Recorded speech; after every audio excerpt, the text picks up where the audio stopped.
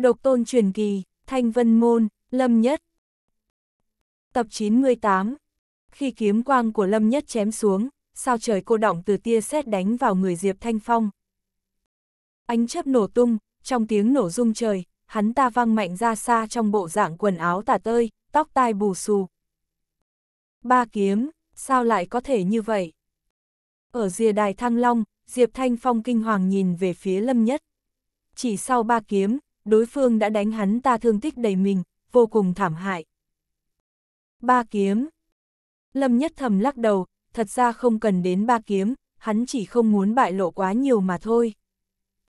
Mỗi nhát kiếm hắn đều tiết chế, chỉ giữ ở mức độ vừa phải đủ để áp chế đối phương, không mạnh hơn một phần, không yếu hơn một tấc. Hắn ta mạnh hơn phong vô đạo, nhưng cũng chỉ có vậy thôi. Trên hàng ghế của tử Nguyệt Động Thiên, ngoại trừ Vũ Hạo Thiên, từ đệ tử đến trưởng lão đều sầm mặt lại. Đây hoàn toàn không phải hình ảnh mà họ muốn nhìn thấy, Diệp Thanh Phong bán bộ thiên phách mà lại không đỡ nổi ba kiếm trong tay Lâm Nhất. Mạnh đến mức này, thực lực của Lâm Nhất vượt xa dự đoán của mọi người. Lòng hướng về kiếm, một đường bay cao. Truyền kỳ bất bại còn đang kéo dài. Ba kiếm, chỉ ba kiếm đã đánh bại Diệp Thanh Phong với tu vi bán bộ thiên phách. Hơn nữa kiếm ý phóng thích từ trên người Lâm Nhất vẫn là kiếm ý tiên thiên đại thành, mang lại cảm giác hắn rõ ràng chưa dùng hết sức lực. Trọng tài hơi ngơ ngẩn, sự mạnh mẽ của Lâm Nhất rõ như ban ngày, không còn bất kỳ ai cảm thấy hắn là kẻ yếu, thậm chí ở trong lòng rất nhiều người, hắn chắc chắn sẽ lọt vào 30 vị trí đầu của quần Long Thịnh Yến đợt này. Thậm chí còn cao hơn nữa, rất có thể sẽ tiến vào 15 vị trí đầu. Dù sao Tam Vương Thất Anh cũng quá đáng sợ, có thể tiến vào 15 vị trí đầu đã là một thứ hạng cực kỳ nghịch thiên, điều quan trọng nhất là Lâm Nhất chỉ mới 18 tuổi mà thôi. Nhưng không hề có ai nghĩ hắn có thể đánh bại Diệp Thanh Phong bằng ba kiếm. Đợi đến khi có kết quả, trọng tài cũng không thể tin được kết quả mà mình nhìn thấy. Không chỉ có trọng tài khó tin, rất nhiều người đều nhìn lầm, họ cho rằng Lâm Nhất hẳn sẽ thua. Dù sao Tu Vi cũng chênh lệch quá lớn, một người bán bộ thiên phách, một người cảnh giới âm dương đại thành đỉnh phong, đáng lẽ ra Diệp Thanh Phong đủ để áp đảo Lâm Nhất. Nhưng kết quả của trận đấu này lại nằm ngoài dự đoán. Nếu là Nam Cung Vãn Ngọc của Bắc Tuyết Sơn Trang hoặc Lý Mộ Bạch của Thiên Kiếm Tông, ba kiếm đánh bại Diệp Thanh Phong, thậm chí là một kiếm đánh bại hắn ta cũng sẽ không làm mọi người kinh ngạc như vậy. Nhưng Lâm Nhất thì khác, hắn chỉ là một tân tú, tu vi cũng không cao lắm, thậm chí nói khó nghe hơn hắn còn đến từ đế quốc Đại Tần, một nơi hoang vu hẻo lánh thế này hoàn toàn không thể so sánh với thực lực của các thế lực chín đại bá chủ. Điều khoa trương nhất là đến lúc này Lâm Nhất vẫn mang lại cho mọi người cảm giác nhẹ nhàng, chưa dốc hết toàn lực. Thật khó tin nổi. Lại là ba kiếm, kiếm ý của hắn chắc chắn không chỉ là tiên thiên đại thành, rốt cuộc Lâm Nhất còn cất giấu bao nhiêu con át chủ bài thế. Ta đang nghi ngờ, dù gặp 10 yêu nghiệt đứng đầu đợt trước, Lâm Nhất cũng chưa chắc không có cơ hội. Tất cả các nhân tài kiệt xuất trên khán đài đều vô cùng kinh ngạc. Diệp Thanh Phong khác với những người mà Lâm Nhất đã thắng trước đó. Hắn ta là yêu nghiệt bán bộ thiên phách, tu vi này đã đủ để so sánh với Nam Hoa Thất Anh. Tam Vương Thất Anh chưa xuất hiện, có lẽ rất khó bảo đảm hắn sẽ giành chiến thắng liên tiếp 100%. Phong vô đạo thua trong tay Lâm Nhất thở dài một hơi, bất đắc dĩ nói. Hiện tại nhóm 4 và nhóm 7 còn 3 cao thủ chưa đấu với Lâm Nhất, Tuyệt Trần và Tịch Phong không cần nhiều lời, cả hai người đều là cao thủ hàng đầu trong Nam Hoa Thất Anh. Một người còn lại là Nhan Tử Thanh, hạng 14 bảng Long Vân đợt trước, thực lực ngang ngửa ô tiếu thiên. Người này rất mạnh, chỉ là hắn ta đã nổi tiếng từ lâu, là cao thủ thế hệ trước, độ nổi tiếng thấp hơn Lâm Nhất. Ban đầu phong vô đạo cảm thấy nếu gặp nhan tử thanh, Lâm Nhất chắc chắn sẽ thua, nhưng bây giờ xem ra Lâm Nhất vẫn có ít nhất 40% cơ hội thắng. Về phần Phương Hàn Lạc, phong vô đạo cảm thấy khả năng không cao lắm. Trên hàng ghế thiên yêu các, vẻ mặt viêm long tử hơi khó coi, dù sao thì hắn ta cũng từng tuyên bố nếu Lâm Nhất không nhận thua sẽ chết rất thê thảm. Tiểu tử này cũng có chút bản lĩnh, nhưng nếu muốn tiến vào 10 vị trí đầu vẫn là chuyện không có khả năng. Viêm long tử lạnh lùng nói, trong mắt có tia sáng lạnh lóe qua. Nguyệt Vi Vi hoàn toàn không quan tâm hắn ta, trên khuôn mặt yêu mị xuất hiện vẻ yên tĩnh hiếm có, nàng ta nhìn Lâm Nhất bằng ánh mắt dịu dàng. Lâm ca ca đã trưởng thành. Nàng ta còn nhớ tiểu tử ngốc nghếch trước đây chỉ mới cảnh giới tiên thiên đã dám liều mạng ngăn cản Bạch Lê Hiên để cứu mình, khi đối mặt với sự truy sát của Tư Tuyết Y, hắn thả nhảy xuống vực âm phong cũng không muốn đầu hàng. Bản thân hắn ban đầu cũng không ngờ đến, chỉ mới hai năm đã bật lên nhanh như vậy. Suy nghĩ mông lung, Nguyệt Vi Vi nhớ đến tất cả những lời nói thú vị ở vực âm phong, khóe miệng không kìm được khẽ thoảng ý cười.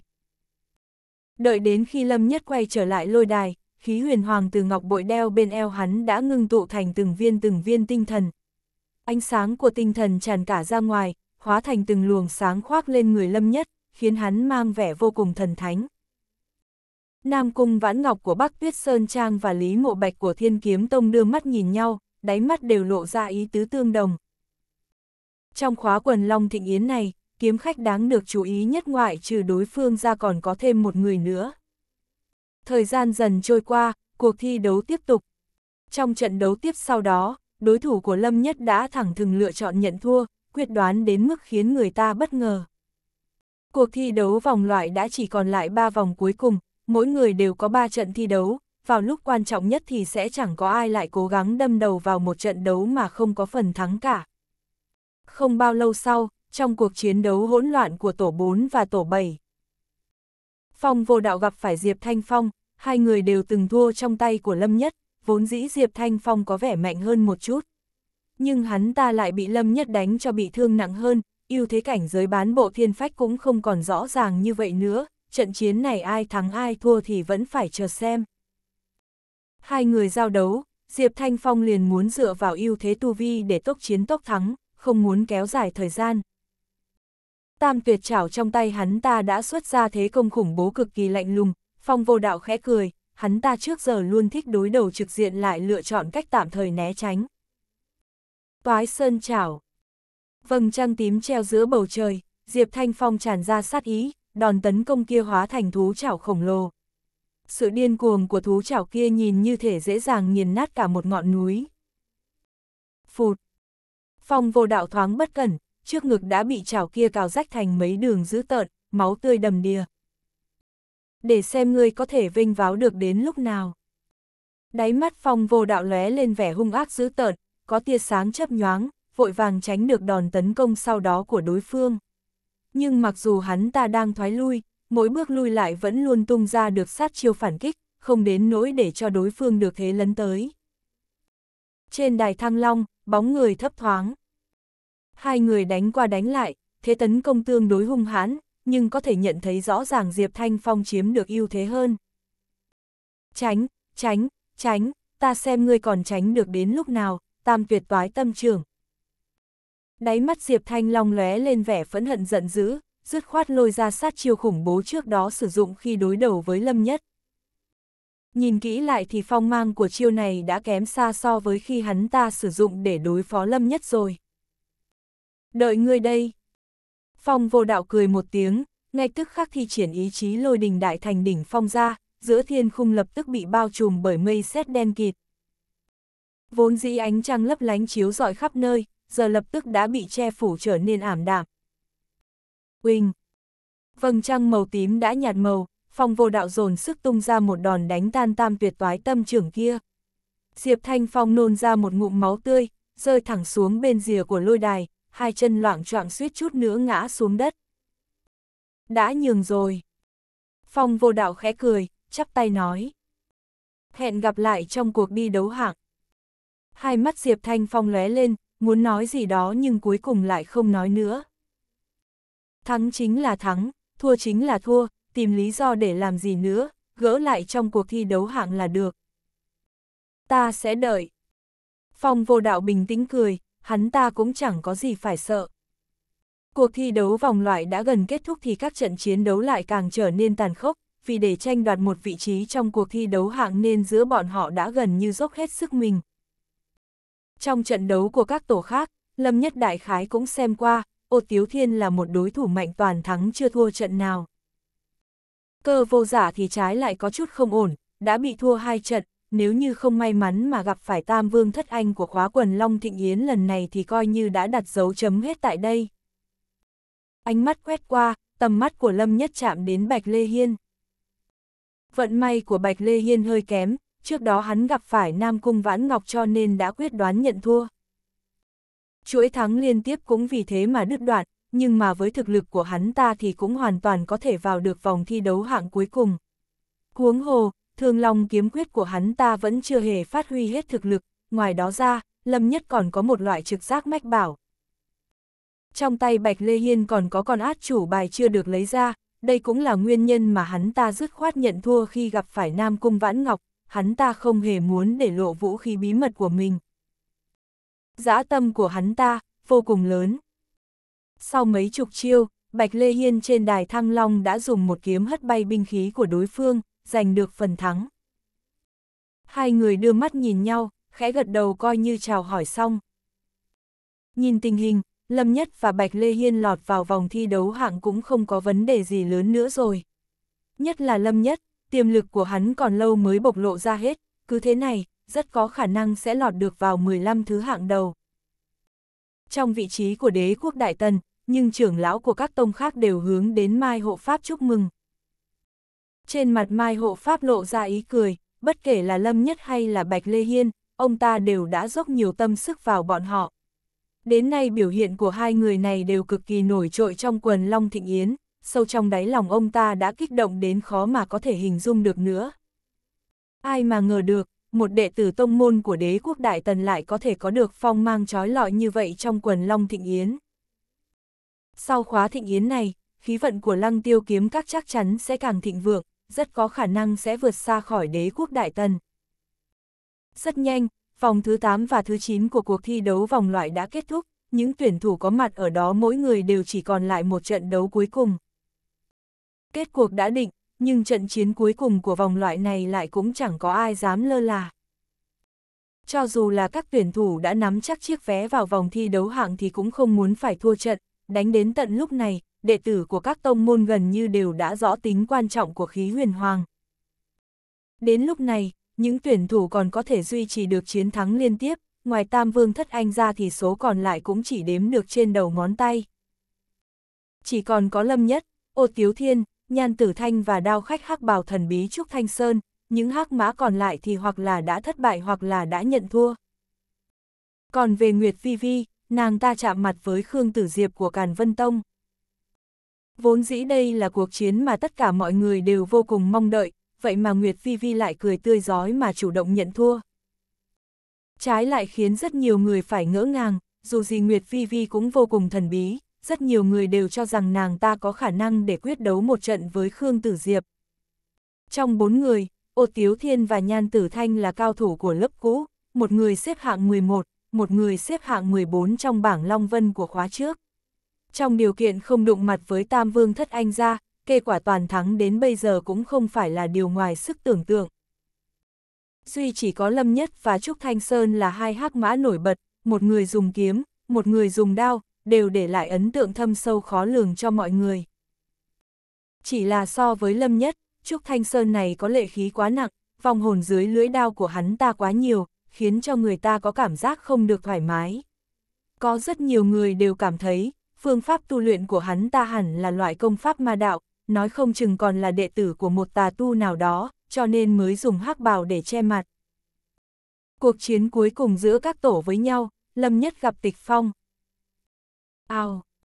Giọng nói của trọng tài vừa vang lên, trên cả hội trường rộng lớn bỗng nổ ra từng tràng tiếng huyên náo, đến cả chỗ khán đài cũng đều rung chuyển.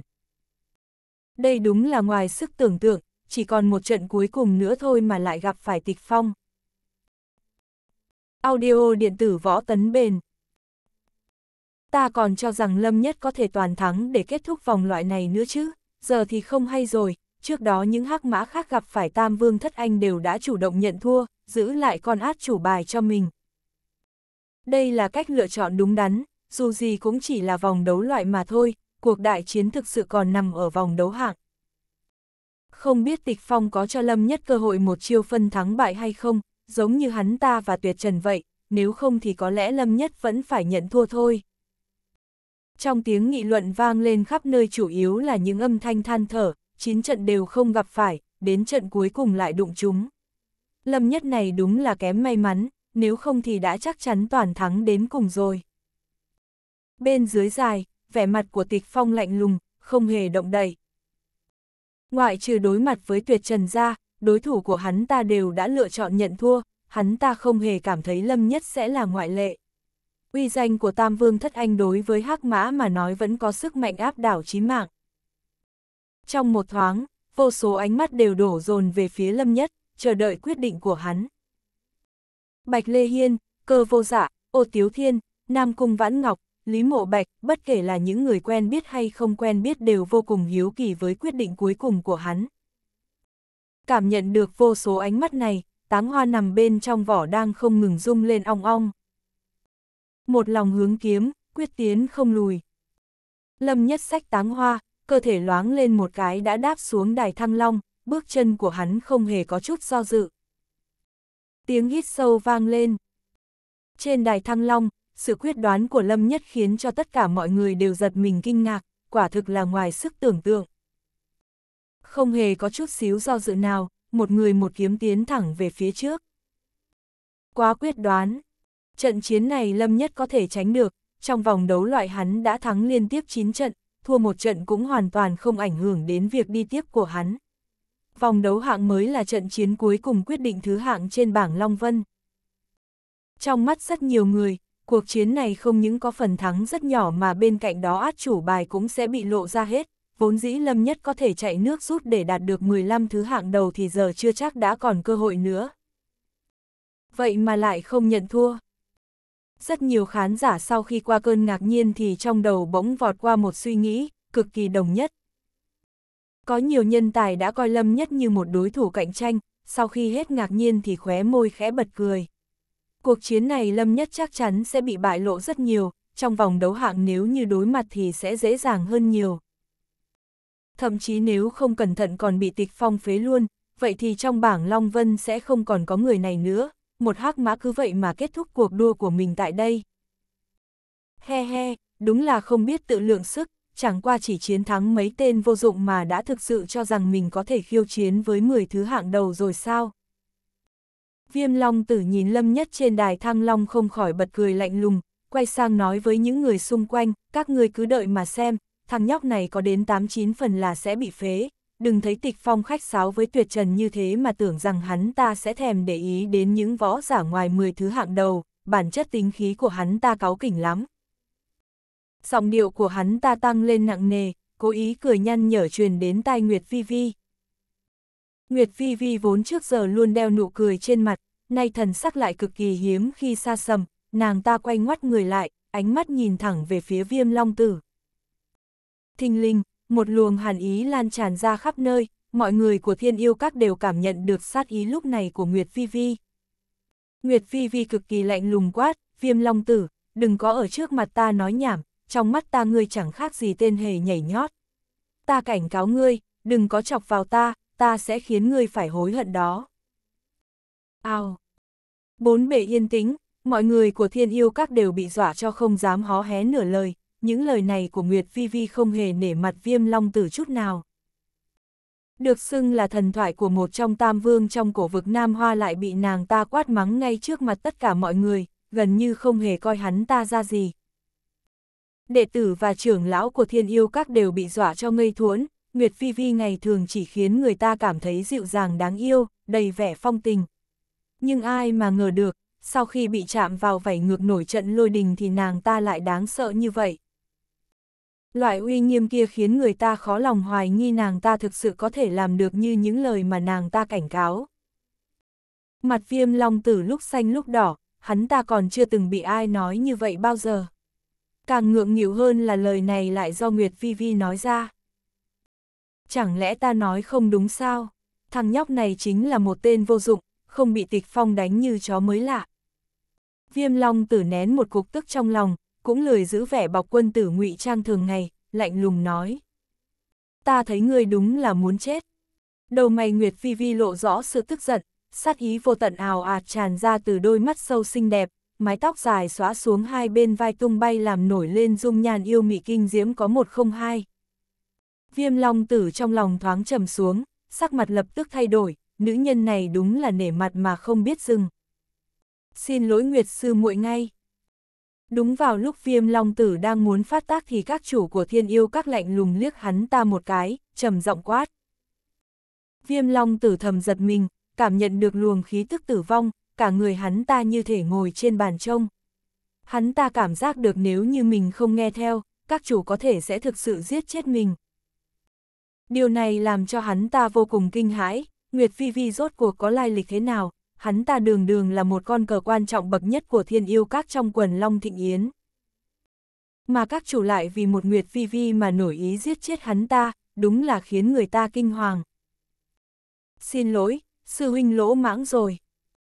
Viêm long tử trong lòng có cả nghìn lần không cam tâm thì ngoài mặt vẫn không dám để lộ chút phẫn nộ nào, chỉ đành phải đè nén cơn giận, trường mặt ra xin lỗi. Không có lần sau nữa.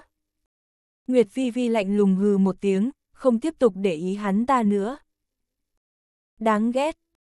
Đồ đàn bà thối, ta xem chút nữa thằng nhóc kia bị đánh cho như chó thì ngươi còn có thể uy phong được nữa hay không? Đáy mắt viêm long tử lóe lên vẻ oán hận, ngay sau đó lại che giấu đi, dù gì hắn ta bây giờ cũng không dám trở mặt với thiên yêu các, lại càng không dám ngỗ nghịch các chủ.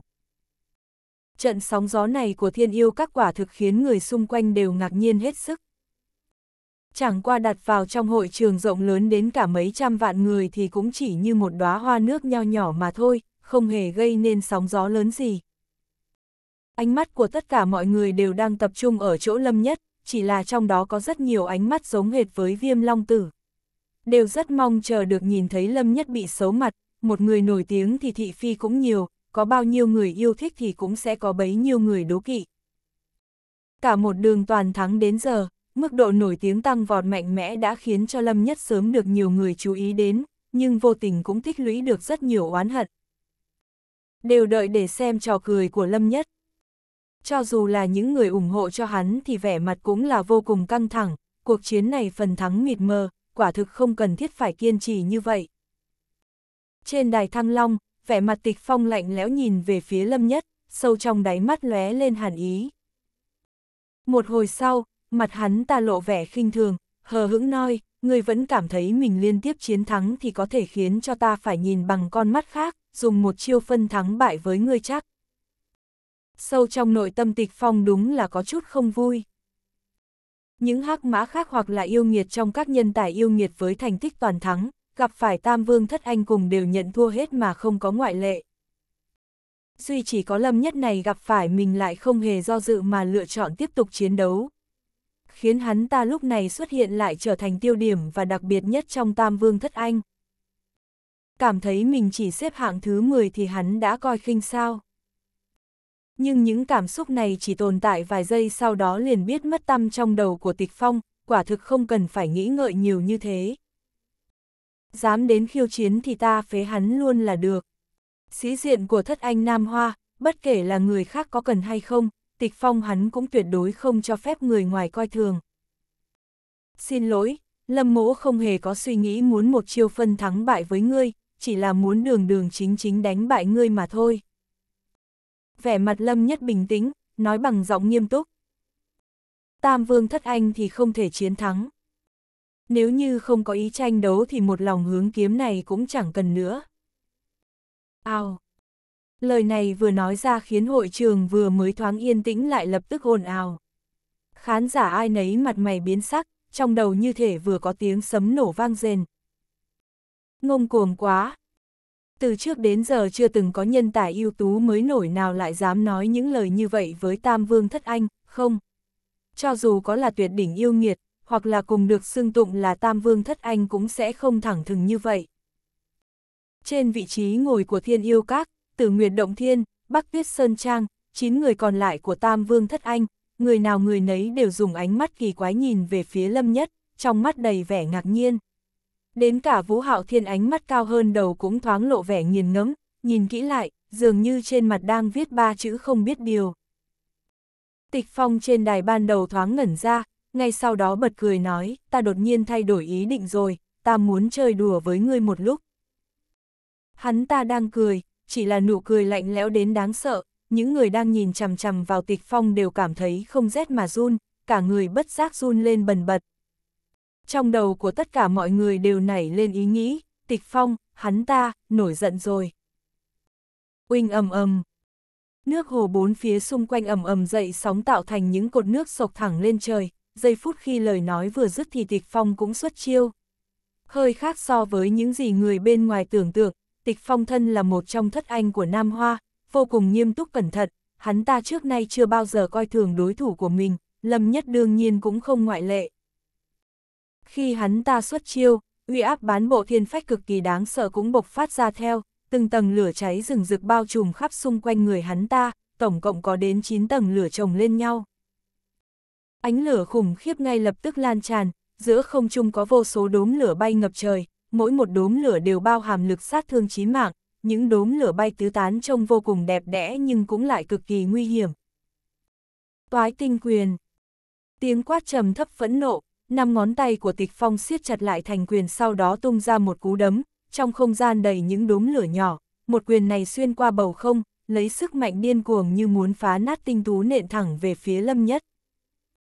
Thân kiếm rung bần bật vang lên những tiếng ong ong, lâm nhất rút kiếm khỏi vỏ, giây phút hàn quang trên thân kiếm bùng lên, tiên thiên kiếm ý đỉnh phong viên mãn cũng đồng thời được tế ra. Ong!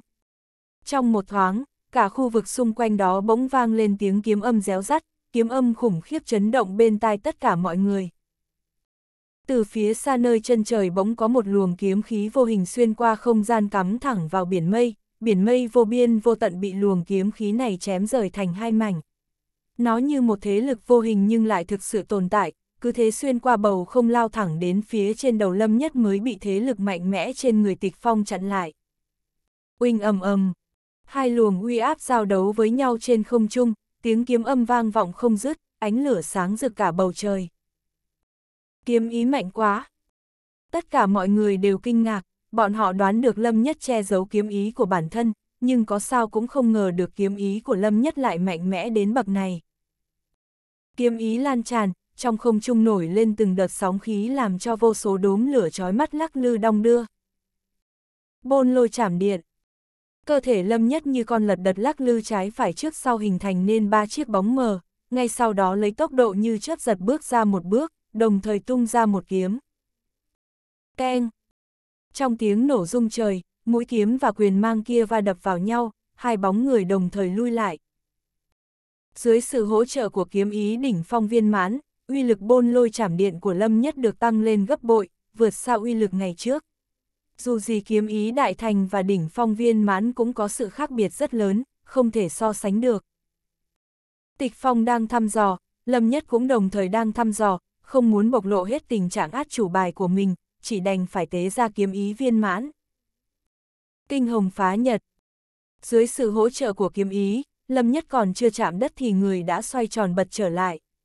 Đôi cánh ánh sáng hùng vĩ xoắn lại ở giữa không trung, theo đà tấn công của Lâm Nhất, ánh sáng vặn xoắn kia không ngừng được kéo dài ra, cả không gian phảng phất như trở nên mờ ảo. Trò vặt vãnh. Sắc mặt tịch phong không đổi, ánh lửa trong đôi mắt hắn ta hừng hực tản ra tinh quang chói mắt.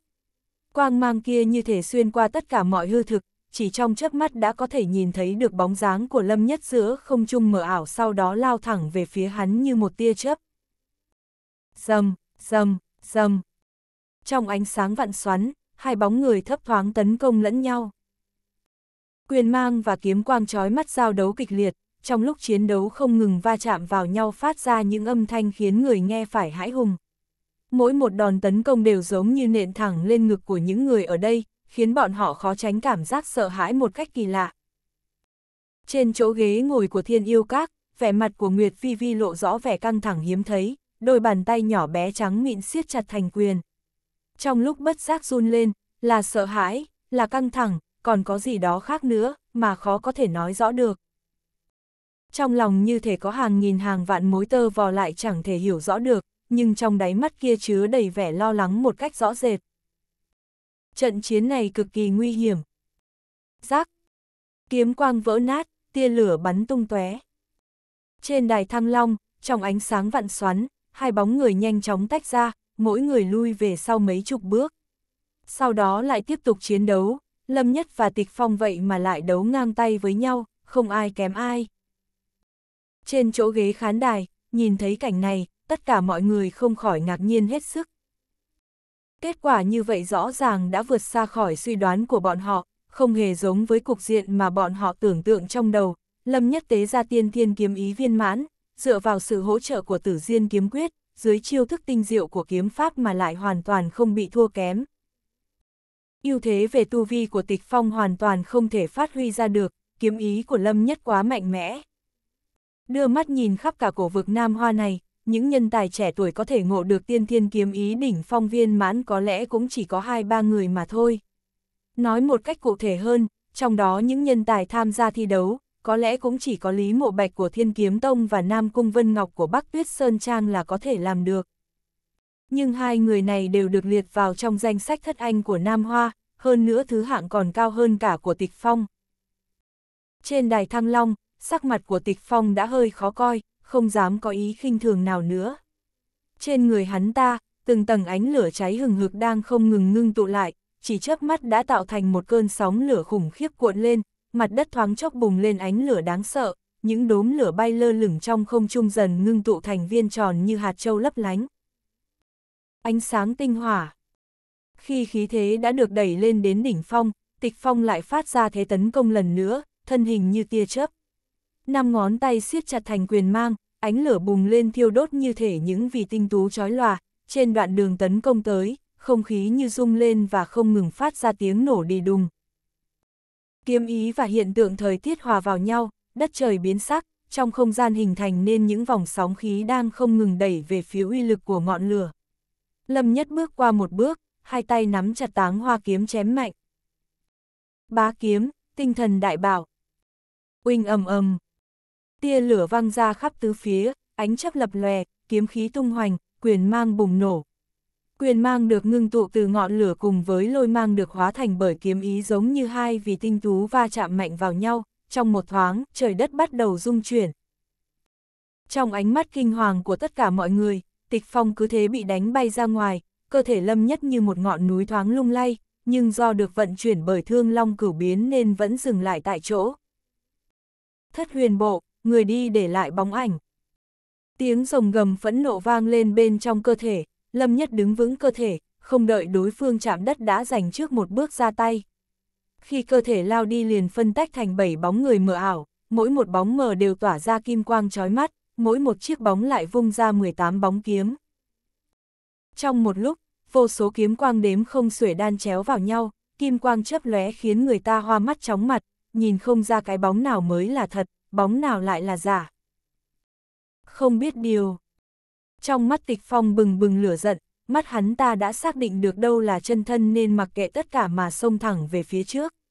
Tựa như một sơn mạch được nhổ ra khỏi lòng đất, một đường lao đi như điên, đánh lui hết tất cả kiếm quang chặn trước mặt, sau đó nhấc tay đấm ra một quyền hung hãn. Nhưng đúng vào lúc quyền mang chuẩn bị đáp xuống. Bóng của Lâm Nhất lại thay đổi, hắn thúc đẩy chân nguyên đến cực hạn, chiêu thức người đi để lại bóng ảnh lại được thi triển ra thêm một lần nữa. Dầm. Bảy bóng mờ trên đài lại thình lình bung ra, mỗi một chiếc bóng lần lượt hóa thành bảy bóng mờ, tổng cộng 7749 chiếc bóng. Động tác, biểu cảm thậm chí cả chiêu kiếm cũng đều khác hẳn nhau, hoặc là đang cười, hoặc là đang nổi giận, hoặc là lại bình tĩnh như mặt hồ, hoặc là điên cuồng như nhập ma. Vốn dĩ tịch phong đã chắc chắn 10 phần thì nay bỗng thoáng do dự, nhưng chỉ một thoáng lưỡng lự đó thôi, 49 bóng mở kia đã vung lưỡi kiếm từ các phía khác nhau đánh về phía hắn ta. Kiếm phong lạnh lẽo khiến cho cả người tịch phong nổi hết da gà, từ đầu đến chân trào lên cảm giác lạnh buốt. Muốn chết. Tịch phong nổi trận lôi đình, lười không muốn đi tìm chân thân của Lâm Nhất nữa, song quyền đều được lôi ra sử dụng, uy lực của quyền mang hung tợn như một cơn cuồng phong bằng lửa bắn ra. Rác, rác, rác, Quyền mang nổ tung đánh tan các bóng mờ, đòn công kích điên cuồng như thể không hề có góc chết. Nhưng quyền mang đơn nhất bỗng nhiên tách ra như vậy thì thanh huy đáng sợ và lực sát thương vốn có của nó ắt sẽ phải giảm đi nhiều.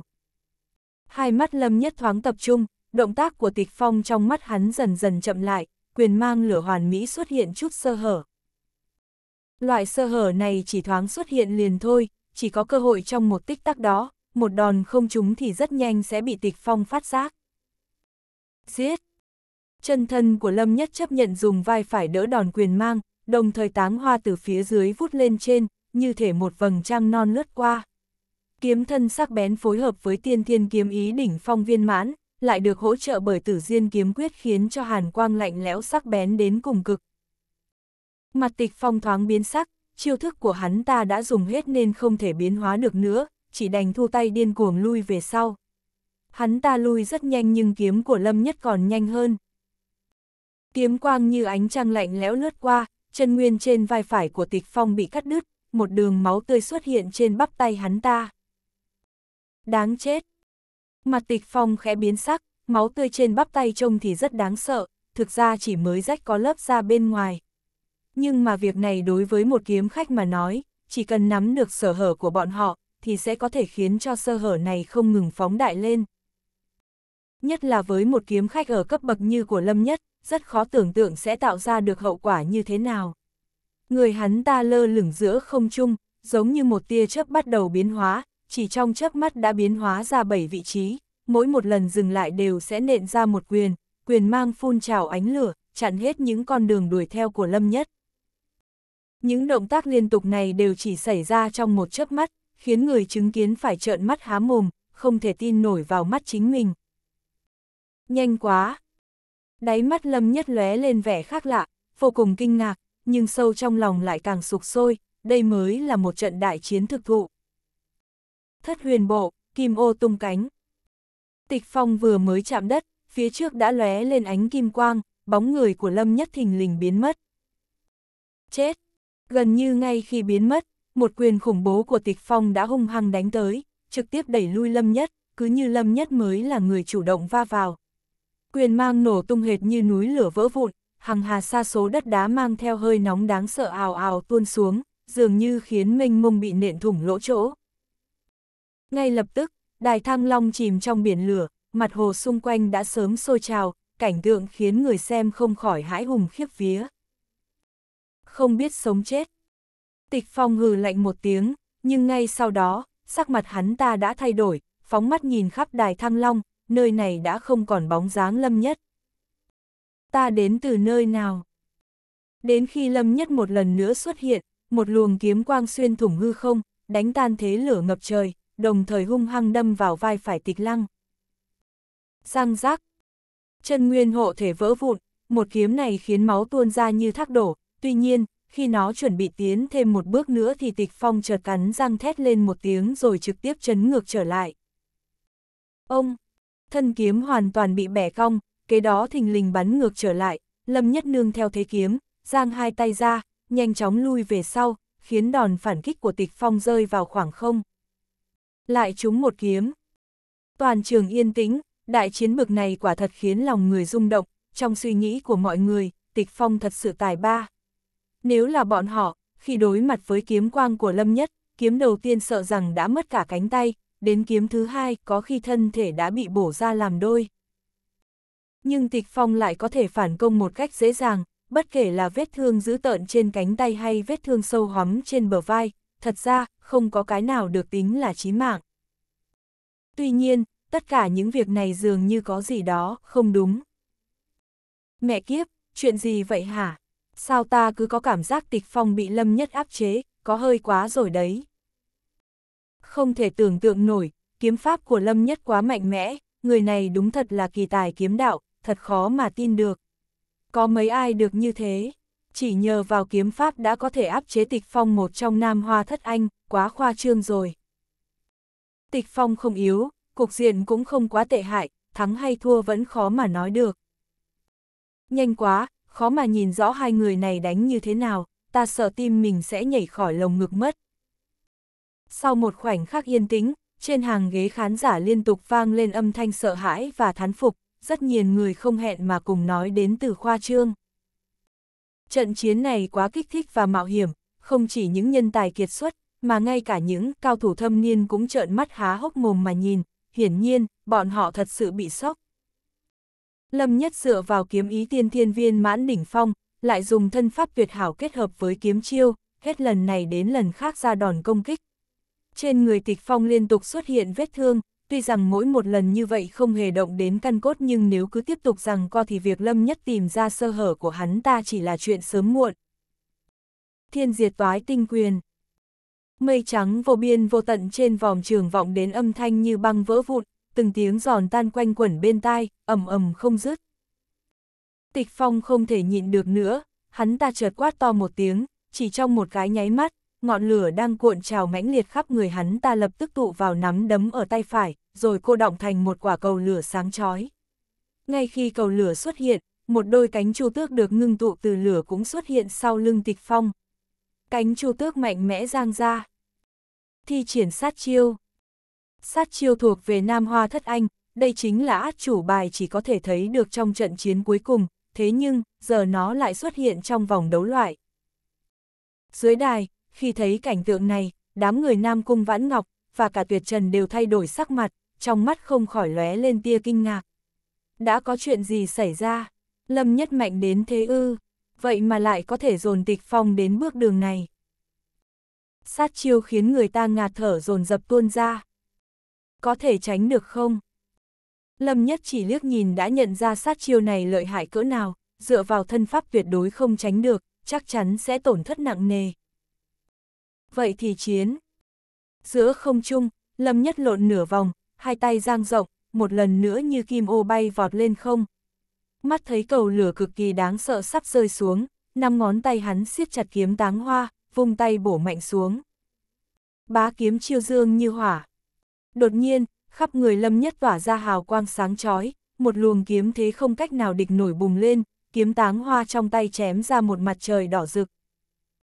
ầm ầm một kiếm này có bao nhiêu khủng bố, kiếm thế minh mông diễn hóa thành một quả cầu lửa cực kỳ đáng sợ, đó là một mặt trời phát ra ánh sáng đỏ rực. Kiếm ý tiên thiên viên mãn đỉnh phong diễn hóa ra một mặt trời chói mắt, ánh mặt trời đỏ như máu, khiến bầu trời cũng bị nhuộm thành một màu đỏ tươi. Đó là ánh mặt trời bao la mà mạnh mẽ, ầm ầm như sóng dậy, và đó cũng là bầu nhiệt huyết vĩnh viễn không lụi tàn trong tim thiếu niên. Đó chính là một lòng hướng kiếm, quyết tiến không lùi, không màng sinh tử của Lâm Nhất. Hai quả cầu lửa va vào nhau giữa không trung, phát ra tiếng nổ kinh thiên động địa cùng ánh hào quang nóng bỏng, chiếu sáng cả hội trường rộng lớn. Mặt hồ cửu long minh mông lập tức dậy sóng, sóng cuộn trào mãnh liệt, phút chốc, trận chiến trên những đài thăng long xung quanh đó trở nên lu mờ, không có bất kỳ ánh hào quang nào tồn tại.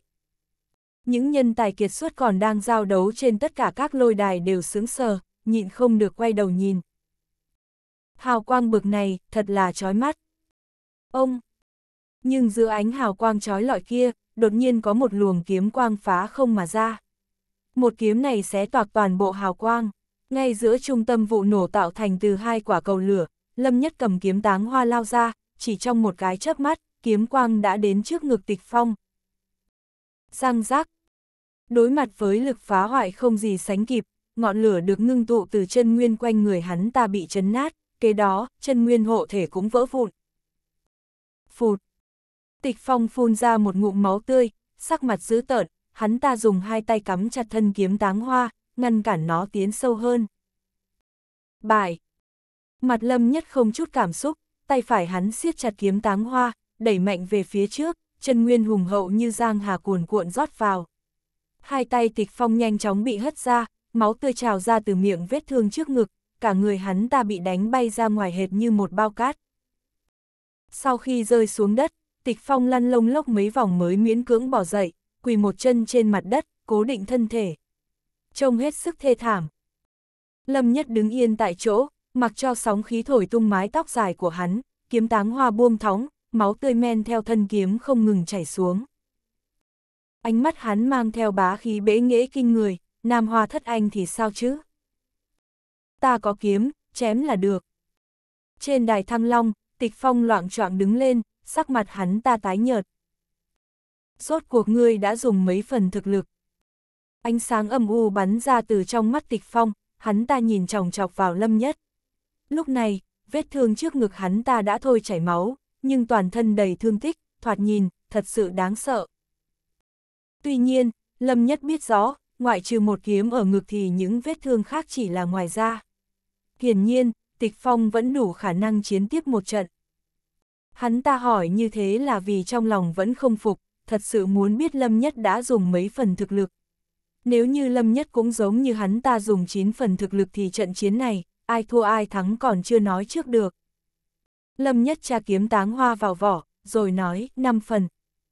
Khoảng 5 phần, có thể nhiều hơn một chút, cũng có thể ít hơn một chút, nhưng sẽ không chênh lệch quá nhiều. Nghe vậy, tịch phong giật nảy mình, đồng tử co mạnh, lửa giận lập tức bùng lên trong lòng hắn ta. Đã đến nước này mà tên nhóc trước mặt còn làm nhục hắn ta, sao có thể là 5 phần thực lực được cơ chứ?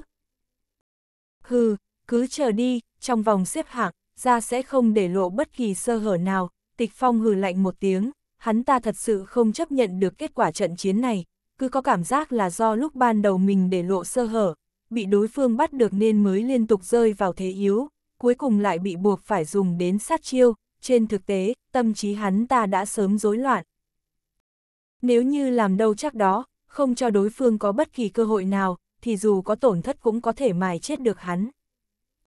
Sơ hở là thứ người muốn giấu thì giấu được à?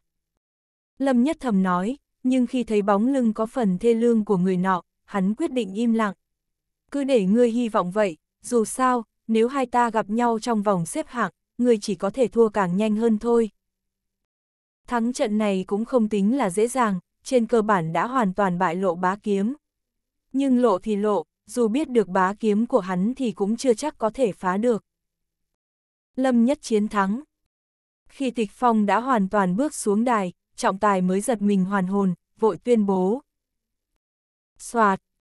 Trọng tài vừa dứt lời, trên khán đài rộng lớn, hàng trăm vạn người đồng loạt hít một ngụm khí lạnh. Lâm nhất thắng. Thật khó mà tin được, đúng là khiến người ta kinh ngạc mà. Một nhân tài mới nổi, một nhân tài mới nổi đến từ đế quốc đại tần nhỏ bé, vậy mà lại chiến thắng tịch phong trong Nam Hoa Thất Anh.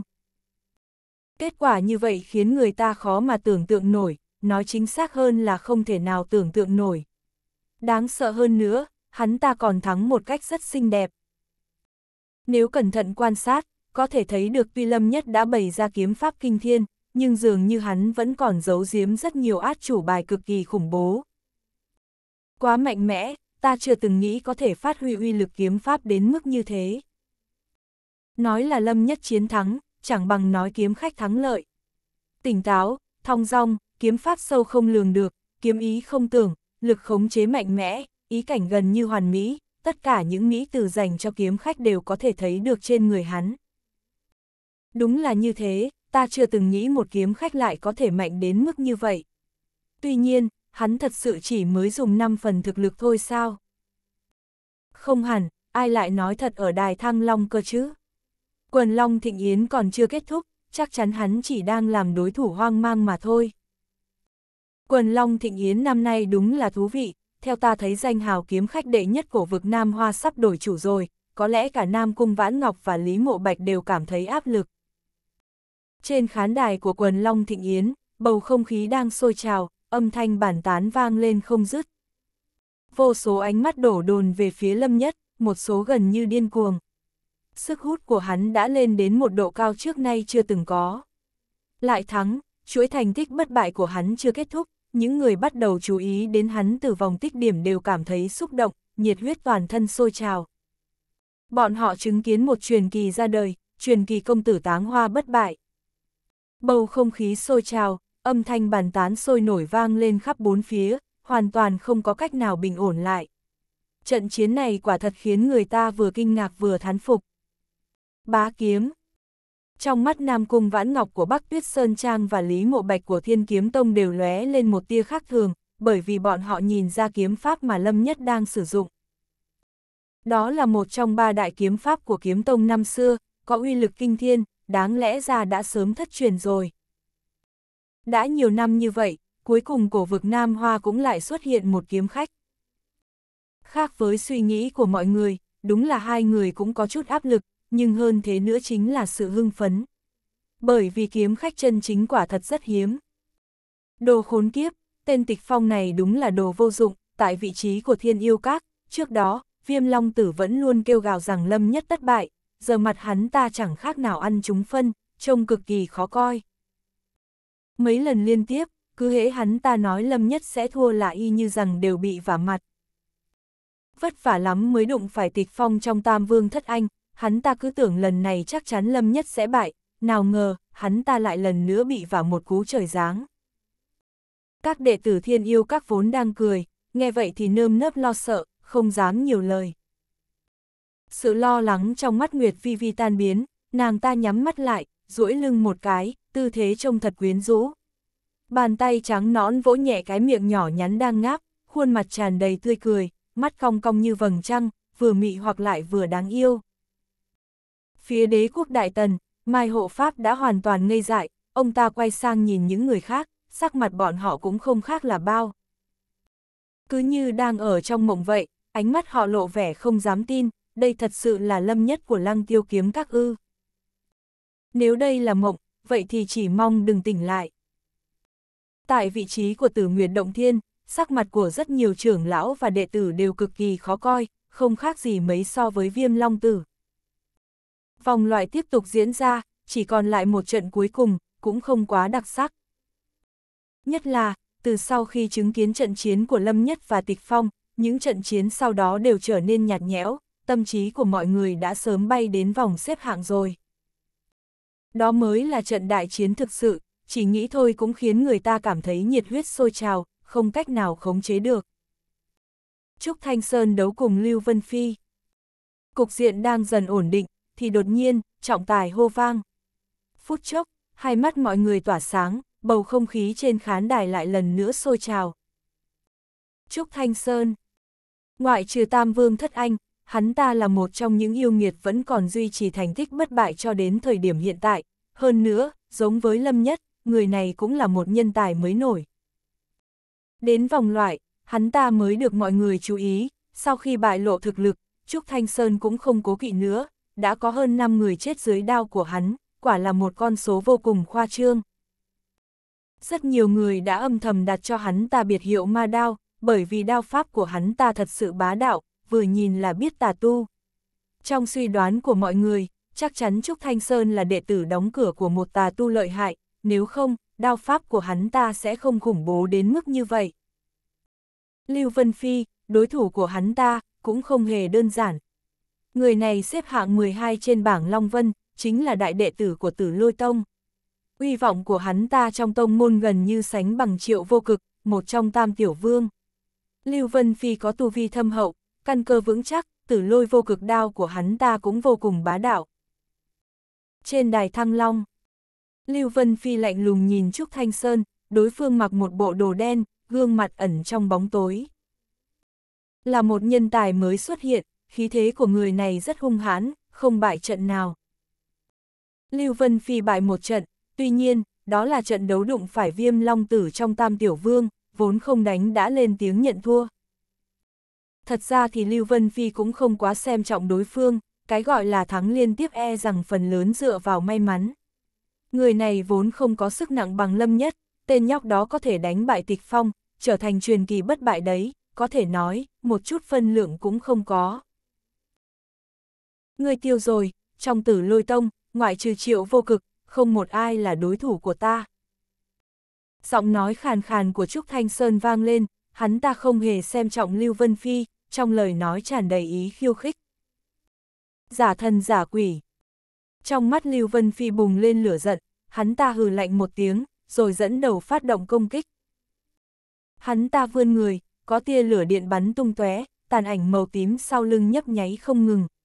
Mỗi một tàn ảnh đều tràn ngập điện quang khủng bố, chân thân của hắn ta đã rời đi thật lâu, nhưng những tàn ảnh kia vẫn quanh quẩn mãi không tan, duy trì tư thế xuất đao. Khi chân thân lao đến trước mặt Trúc Thanh Sơn, hàng hà xa số tàn ảnh lập tức lồng vào nhau, một vầng điện quang sáng chói chiếu rọi bốn phương tám hướng, sộc thẳng lên trời. Tử lôi thông thiên. Ánh đao khủng bố bổ xuống, điện quang màu tím chiếu sáng cả vùng trời, vô số đao thế hùng hậu hệt như dãy núi trùng trùng điệp điệp. Một đao này cực kỳ hung ác, có thể nhìn ra bản lĩnh cao siêu của Lưu Vân Phi. ầm, um, dưới lực bổ mạnh, hai lưỡi đao hung hăng va vào nhau, ma sát khiến vô số tia lửa bắn ra. Trong tranh đấu, hai người không ai nhường ai, cũng không ai lùi bước, phải nói là lực lượng ngang nhau. Lâm Nhất nhíu mày nhìn hai đối thủ không phân cao thấp trên đài. Trên thực tế, rõ ràng là Trúc Thanh Sơn mạnh hơn một chút, Lưu Vân Phi sử dụng võ kỹ, trong khi Trúc Thanh Sơn chỉ chém ra một đao đơn thuần mà đã có thể nhẹ nhàng ngăn được. Tuy nhiên, muốn phân thắng bại vẫn phải xem xét khả năng khống chế đạo ý của hai người rốt cuộc đã đạt đến cảnh giới nào. Bọn họ đều có được đạo ý tiên thiên đại thành, tuy nhiên, trong đó có rất nhiều phương thức khác nhau, cuối cùng, vẫn phải xem hai người này vận dụng như thế nào. Nói thật ra thì Lâm Nhất vẫn coi trọng Trúc Thanh Sơn hơn. Trận chiến này sẽ không kéo dài quá lâu. Đúng như hắn dự đoán, sau 10 đao, Lưu Vân Phi đã bại trận. Ánh đao màu đen ác liệt suýt nữa đã chém ngang người hắn ta, dọa Lưu Vân Phi một trận, khiến hắn ta vội vã nhận thua. Giữa một chàng cười quái đản, Trúc Thanh Sơn xem như thắng trận này. Xíu, yêu yêu. Dưới cái mũ trùm đầu, đôi mắt như ma quỷ của Trúc Thanh Sơn nhìn thẳng về phía Lâm Nhất, mang theo ý lạnh bức người. Thị uy với ta. Sắc mặt Lâm Nhất thoáng thay đổi, hắn cảm nhận được chiến ý tràn đầy khiêu khích từ đôi mắt kia, rõ ràng hắn ta đang nói rằng gặp ở vòng xếp hạng. Vậy thì, gặp ở vòng xếp hạng, hai con ngựa đen lớn tất sẽ có một trận đại chiến. Sau hai canh giờ, vòng loại đã hoàn toàn kết thúc, 20 người chiến thắng trong nhóm đối chiến hỗn hợp sẽ tiến vào vòng xếp hạng cuối cùng. Có thể đứng trong 100 người tiến vào đấu hạng, xem như đã có tư cách ghi tên lên bảng Long Vân, có điều thứ tự cao hay thấp còn chưa được quyết định. Riêng những người còn lại, bọn họ chỉ có thể giàu dĩ rời khỏi cuộc thi, chấm dứt hành trình của mình trong quần Long Thịnh Yến. Thiên quân vạn mã độc mộc, nhất tướng công thành vạn cốt khô. Con đường võ đạo vốn tàn khốc đã hiển hiện một cách rõ ràng tại quần Long Thịnh Yến. Mấy chục vạn người tham gia khảo nghiệm, cuối cùng chỉ có 100 người có thể tranh đoạt thứ hạng. Có những nhân tài mới nổi như Lâm Nhất, Bạch Lê Hiên, Trúc Thanh Sơn. Tỏa ra hào quang trói lọi, phong thái ngút trời, được vạn người chú ý. Nhưng lại có vô số người chìm trong biển người khổng lồ, không ai quan tâm, thậm chí mất mạng, quả thật tàn khốc và đẫm máu.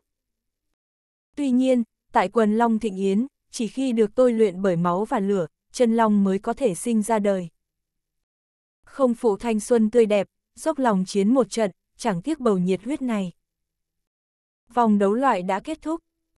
Bên ngoài Hồ Cửu Long, những nhân tài kiệt xuất đang ngồi trên khán đài xem chiến đều im lặng chờ đợi danh sách cuối cùng. 10 tổ trong vòng tích điểm hợp lại thành 5 tổ đấu hỗn hợp, hai tổ đối chiến chọn ra 20 người tiến vào vòng xếp hạng, tổng cộng có 100 tuyển thủ, vừa khớp với 100 thứ hạng trên bảng Long Vân. Tiến vào vòng xếp hạng tương đương với ghi tên lên bảng Long Vân, còn về thứ hạng cao thấp thì phải đợi sau khi vòng xếp hạng kết thúc mới có thể đưa ra kết luận. Quần Long Thịnh Yến lần này thật sự quá đặc sắc, ngựa đen liên tục xuất hiện, yêu nghiệt tề tựu, vô số yêu nghiệt tuyệt đỉnh bị đánh bại khiến cho mọi người được mở rộng tầm mắt.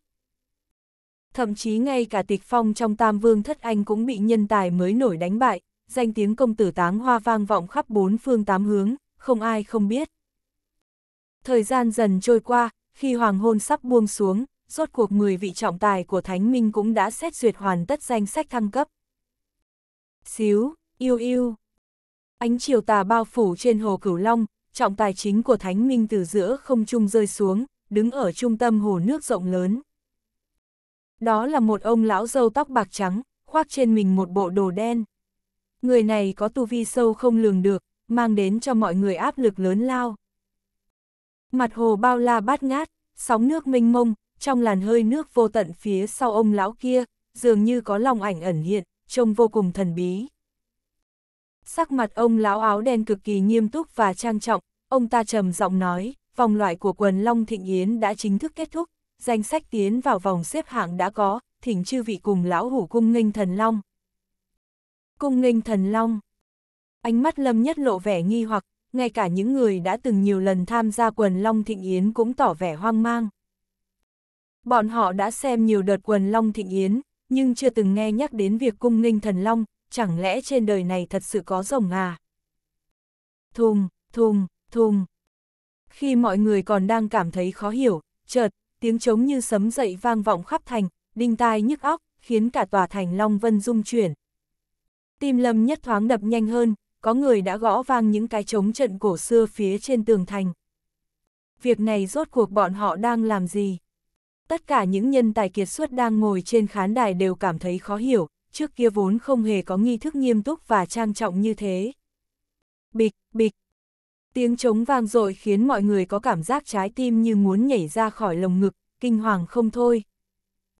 Lâm Nhất híp mắt quan sát, ở đằng kia, trên mặt hồ Cửu Long bao la, sóng nước dao động theo tiết tấu của trống trận, trong lúc dao động, có dòng khí màu vàng từ trong hồ tách ra theo nhịp trống hào hùng, sau đó lơ lửng giữa không trung.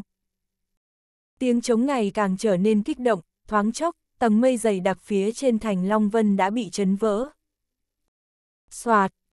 Sắc trời vốn đã sụp tối, nhưng khi tầng mây bị tiếng trống rung trời chấn vỡ, bầu trời sao bao la mà sáng chói xuất hiện. Dường như mỗi một ngôi sao đang lơ lửng trên đỉnh đầu bọn họ, chỉ cần nhảy lên một cái là có thể hái xuống. Nhưng nếu cẩn thận cảm nhận, sẽ phát hiện bầu trời sao kia ở cách xa vô tận, thậm chí đã vượt qua không gian cùng thời gian. Không thể chạm vào, không thể khinh nhờn, cũng không thể nhìn thẳng. Giống. Ngay khi mọi người cảm giác mắt mình đau nhói vì ánh sao sáng ngời, chợt, một tiếng rồng ngâm từ xa xôi vọng đến. ầm ầm, Mặt hồ cửu long dậy sóng, từng con sóng mãnh liệt nhấp nhô, bọt nước sôi trào.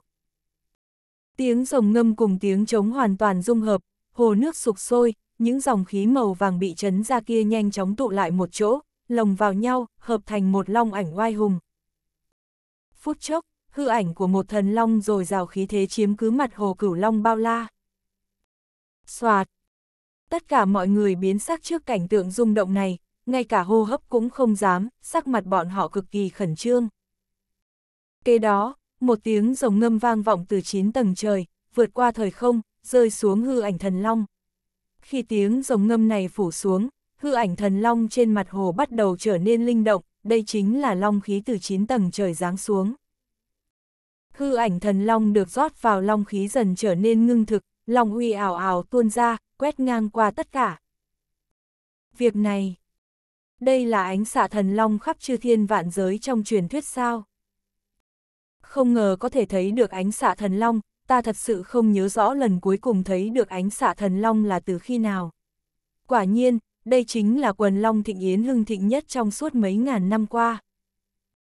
Đời ta có thể thấy được dị tượng như vậy quả là may mắn, thịnh thế rộng lớn đã sắp phủ xuống. Trên khán đài, một vài ông lão tỏ vẻ phấn khích, nói năng có hơi lộn xộn, toàn thân cũng vì kích động mà run rẩy. Trái lại, tông chủ của chín đại thế lực lại lộ vẻ nghiêm túc, tuy bọn họ đã sớm biết đại thế đến, nhưng khi thấy ánh xạ thần long, sâu trong lòng mỗi người vẫn cảm thấy rung động không thôi, thật sự có hơi bất ngờ. Tiếng chống trận đột ngột dừng lại, tầng mây vỡ vụn trên vòng trời một lần nữa khép lại, trước khi nó hoàn toàn khép lại, Lâm Nhất ngẩng đầu nhìn, trong mắt hắn lập tức lóe lên tia kinh ngạc. Hắn nhìn thấy giữa bầu trời sao bao la bát ngát ngoài kia, dường như có một thần long màu xanh cổ xưa, nó đang chiếm cứ trên con đường xưa cũ nối liền trời sao thần bí.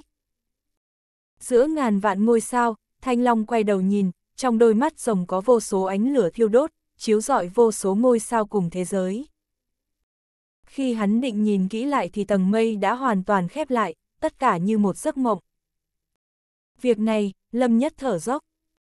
Tuy nhiên, không có quá nhiều thời gian để hắn kinh ngạc, trong ngọc bội được dắt bên hông những tuyển thủ có tư cách tiến vào vòng xếp hạng, tất cả khí huyền hoàng đều tràn ra ngoài. So với những nhân tài kiệt xuất bình thường, rõ ràng là khí huyền hoàng của những người giành chiến thắng liên tiếp dồi dào hơn rất nhiều. Riêng đám người tam vương thất anh, khí huyền hoàng từ ngọc bội của bọn họ tràn ra đã diễn hóa thành từng ngôi sao sáng chói, trông cực kỳ rung động. Đặc biệt là Vũ Hạo Thiên, Triệu Vô Cực cùng Viêm Long Tử, khí huyền hoàng đằng sau bọn họ dày đặc như sương mù, trong đó tràn ngập ánh sao, mang đến cho người ta cảm giác mạnh mẽ như sóng cả. Còn Lâm Nhất, hắn là một trong số ít những nhân tài kiệt xuất mới nổi có khí huyền hoàng có thể tranh phong với Tam Vương Thất Anh, thậm chí không hề thua kém dù chỉ là một chút. Trước ánh mắt kinh ngạc của mọi người, hư ảnh thần long đang chiếm cứ trên hồ cửu long bỗng híp mắt nhìn quanh một lượt. Xíu, yêu yêu. Một khắc sau, ánh xạ thần long hùng vĩ đột nhiên di chuyển. Thân thể to lớn của nó tan ra, hóa thành hàng trăm long ảnh, trốn vào khí huyền hoàng sau lưng những nhân tài kiệt xuất tiến vào vòng xếp hạng. Khí huyền hoàng ào ào tuôn vào trong long ảnh, sau khi được rót vào khí huyền hoàng, long ảnh sau lưng mỗi người dẫn trở nên khổng lồ. Ngoài tuyệt trần và tịch phong, long ảnh của Tam Vương Thất Anh đều vô cùng khổng lồ, đồng thời còn dương nanh múa vuốt, giữ tợn không gì sánh nổi. Sau khi đã cắn nuốt toàn bộ khí huyền hoàng, những long ảnh kia lượn một vòng quanh người đám người lâm nhất, rồi chui tọt vào ngọc bội dắt bên hông họ. Trong ngọc bội, chúng bắt đầu nhắm mắt chìm vào giấc ngủ, dường như đang trải qua lột xác, chờ đợi thời khắc mở mắt thức tỉnh. Quần Long Thịnh Yến lần này quả thật danh xứng với thực, mỗi người đều có long ảnh thuộc về mình. Sắp tiến vào vòng xếp hạng, đột nhiên, ánh xạ thần long giáng xuống, khiến bầu không khí trở nên nóng hơn bao giờ hết, mọi người mỏi mắt mong chờ. Thật sự quá mức rung động, đây là quần long thịnh yến hưng thịnh nhất trong suốt mấy ngàn năm qua, hơn nữa còn có hư ảnh của thần long chiếu rọi khắp chư thiên vạn giới. Những nhân tài kiệt xuất được tiến vào vòng xếp hạng đều lộ vẻ phấn khích, mắt sáng bừng, thỉnh thoảng, bọn họ lại liếc nhìn ngọc bội rát bên hông, dường như đang suy nghĩ điều gì đó. Bởi vì bọn họ đã tận mắt nhìn thấy có một luồng long khí giáng xuống sau khi tiếng rồng ngâm lần thứ hai vang vọng khắp 9 tầng trời. Hiện tại vẫn chưa có nhiều manh mối, nhưng khi bước vào vòng xếp hạng, chắc chắn sẽ bộc lộ rõ nét, quần long thịnh yến lần này hoàn toàn khác biệt so với trước kia. Không ai đoán được đến cuối cùng sẽ có chuyện gì phát sinh. Hừ, một đám ngu xuẩn, tên nào cũng ngóng trông trở thành đá kê chân của ta, tại vị trí của tử Nguyệt Động Thiên, Vũ Hạo Thiên từ trước đến nay vẫn luôn giữ im lặng, dường như không có bất kỳ điều gì khơi gợi được hứng thú của hắn ta, nhưng giờ phút này, ánh mắt hắn ta lại trở nên nóng bỏng hơn bao giờ hết, tay phải nắm chặt ngọc bội Long Vân, toàn thân tỏa ra chiến ý cực kỳ khủng bố. Đám người này vốn không hề hay biết, muốn có được luồng long khí kia, tất phải giành vị trí số 1. Tuy nói bước vào bảng 10 sẽ có đủ tư cách tranh giành cơ hội lần này, nhưng chỉ có vị trí đầu bảng mới hoàn toàn nắm chắc, lợi ích mà người đứng đầu nhận được còn nhiều hơn so với 99 người còn lại cộng lại. Ánh mắt viêm long tử của thiên yêu các và triệu vô cực của tử lôi tông cũng nóng rực, thân là một trong tam tiểu vương, dường như bọn họ biết được một vài bí mật mà những người khác chưa từng nghe nhắc đến. Lâm nhất vuốt ve ngọc bội trong lòng bàn tay, hắn không có tâm trí nghĩ đến những thứ đó. Hắn vẫn còn đắm chìm ở 9 tầng trời ngoài kia, trong đầu hắn giờ chỉ có thần long màu xanh giữa trời sao vô tận, cùng với tinh không cổ lộ dưới thân nó. Đại thế đến, ngõ trời sắp mở. Chợt, hắn nhớ đến những lời mà Lưu Thương từng nói, đằng sau đại thế chính là ngõ trời sắp mở. Tinh không cổ lộ kia chính là con đường nối thẳng lên trời mà hắn ta từng nhắc đến sao. Đúng, hẳn là như vậy. Thân ở đại thế, bọn họ đều đang đứng bên cạnh con đường kia, tại đó mỗi người như rồng, không cầu trường sinh, chỉ muốn theo đuổi giấc mơ trong đại thế rộng lớn. Chờ ta. Lâm Nhất nắm chặt ngọc bội trong tay, ánh mắt lộ vẻ kiên định và chấp nhất. Bất kể vì kiếm trong tay hắn, hay vì ước hẹn cùng Tô Hàm Nguyệt, hắn đều muốn bước lên ngõ trời. Bảy ngày sau, vòng xếp hạng chính thức bắt đầu, trên hồ Cửu Long, ông lão áo đen thần bí lại lần nữa mở miệng. Phải đợi bảy ngày nữa sao? Sau khi tận mắt chứng kiến ánh xạ thần long, mọi người đều rất sốt ruột, háo hức mong được nhìn thấy quần long tranh tài. Ai cũng muốn biết sau khi thức tỉnh, long ảnh trong ngọc bội của chúng nhân tài kiệt xuất sẽ có dáng vẻ như thế nào. Trận chiến này quả thực khiến người ta mỏi mắt mong chờ. Tuy nhiên, ngẫm lại, sau trận ác chiến tại vòng đấu loại, đã có nhiều người bị thương nặng, nhất định phải điều dưỡng một phen mới được, nếu không, trong vòng xếp hạng, bọn họ không cách nào phát huy được thực lực đỉnh cao. Dù là lâm nhất, tuy không bị thương, nhưng hắn cũng đã tiêu hao không ít tinh khí thần.